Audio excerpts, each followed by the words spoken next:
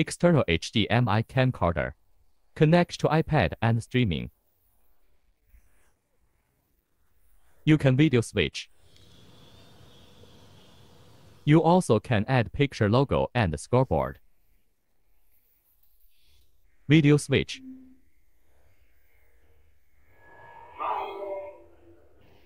When you use iOS, the capture card. It is free to use. No watermark at corner. Free to use forever. Hello everyone, this is an HDMI camera. What we're going to introduce today is to say how to use this HDMI camera live stream on this iPad or iPhone. Today we are going to introduce a special iOS app. It's called Media Link Switcher. Although there is no way to be as strong as OBS, but the basic pips. And side by side, there are also some marquees. There are also some logos that can be used. The point is, if you want to use the software for free, you can use this one from our company, Febon iOS the capture card. Let's do it first. Start with the iOS capture card. Connect HDMI video to iPad or on the iPhone. This is a capture card for iOS live streaming. There is a place for micro USB power in here. Let's connect the power supply first. This micro USB cable. Connect to a 5 volt power supply. There is a USB output here. Let's connect the USB cable to the iPad. For iPad, please use the USB-C hub. Then connect in HDMI output for the camera. Take it out. Where to connect to HDMI in. Open the app Media Link Switcher. Use your hand to the right and add a capture.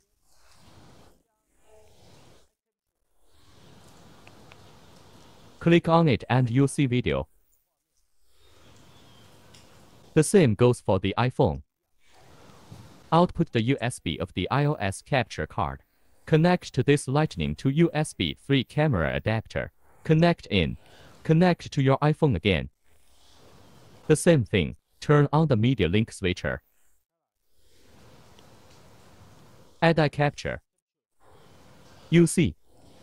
Camera view. I used it on this iPhone.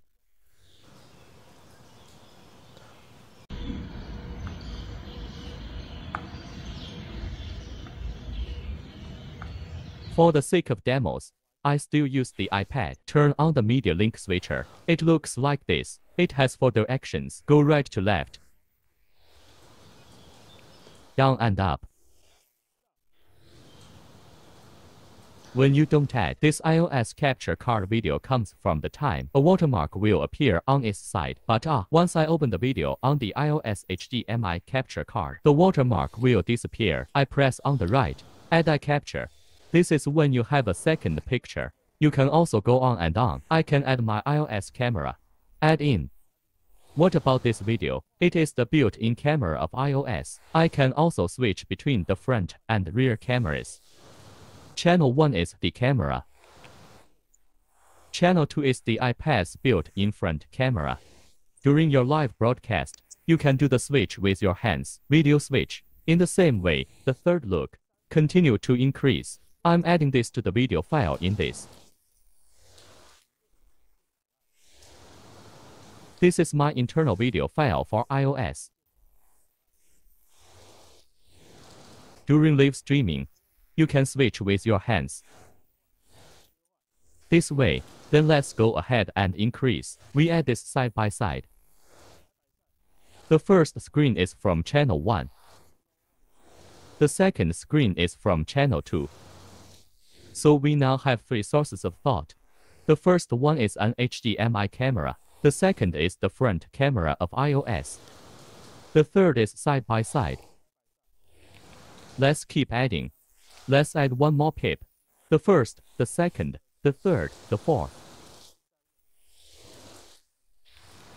At this point, my video is set. The next thing I'm going to do is set the sound of that microphone. I press this one up. You will find video footage of my house at the moment. Open up the source of this sound. I just have to open what I want. I just want the microphone of HDMI camera. I'll turn it off. That's it. At this time, I only leave the HDMI camera. Of course, I'm in the middle of a live stream. I also don't want me to take my iPad. This speaker is turned on, so I press this button. I can also add a logo, marquee or something. I use my hand to the right. The first thing I added here is my photo. This is my photo down. Down. You can adjust your position. Let's say adjust to this side. Then I can go on and on. Then press down again. Go ahead and add what I can add. I can add this one more. Ah. Baseball scoreboard. This one can too. Add here.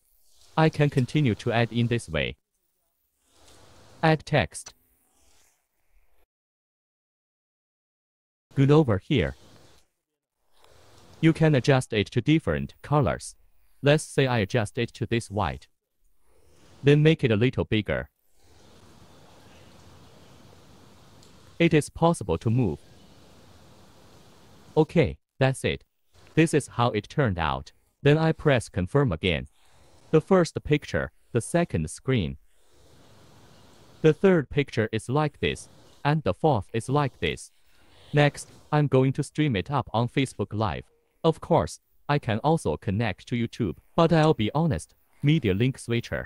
When streaming to YouTube, there may be a problem once or twice because you might be in the background of your YouTube, set up some events. Then in order to avoid these annoying things, I'll go live on YouTube later. I'm going to use Restream, this third-party live streaming platform. Live streaming on YouTube is free, and it's very easy to use. Let's start by doing Facebook Live. We use the internal connection of the media link switcher. And I put down with my hand. And he jumped to this icon. Please click here for management. Added Facebook.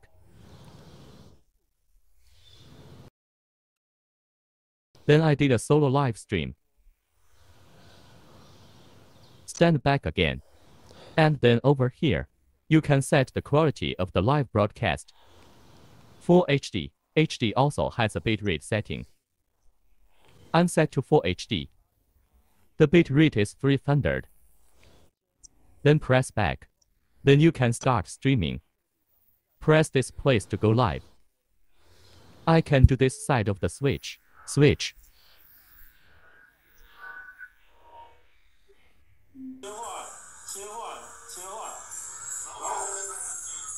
This Facebook Live is probably like this. What's next? YouTube Live.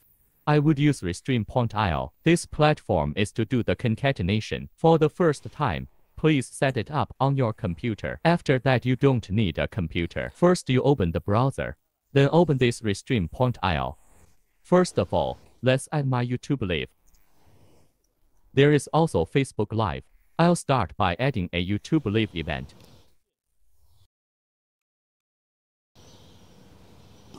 I choose this one public. Then add a second Facebook Live. Profile is free of charge. At this time, I'm going to get the RTMP and the key out. RTMP. Okay, you can see there are two. The first is RTMP, the second is the key. I take these two things, Copy the app to the iOS capture card. How do you copy it? My game is to copy these to, to your email first. Let's say I open Gmail. I send it to myself. Wait a minute. This email will be sent to my iPad. Okay, let's go to Gmail. Make a copy of the two things you just had. This is Gmail. This one is RTMP. Copy, and then to the media link switcher. This side and then the new.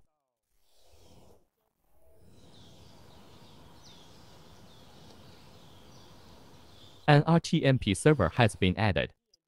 This place is clicked in. I will take the name where it is. It's called Restream. The first string sticks it on. Tonglia also pasted it on the second one. This goes to your ice Gmail. Make a copy of this.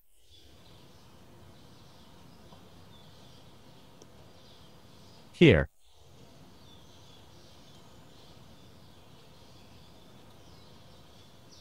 Then press down here and go back. And then it is very important where the live stream is currently streamed. Please choose this place. Click on it and you will see that it is currently restream YouTube, the one I just added. At this time, I will talk about pressing live, live to restream point IL. Indirectly reached YouTube live broadcast. I'm on the run, right or wrong, switch videos. Let's take a look at YouTube live.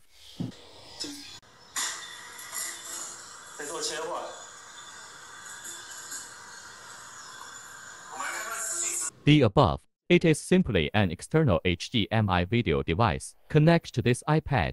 Do a live stream. Then this live broadcast can do video switching. You can also attach your photo or text. In the first place, the point is, when we connect, this iOS live capture card is the time. There is no watermark in the lower right corner of this. You can use it for free forever.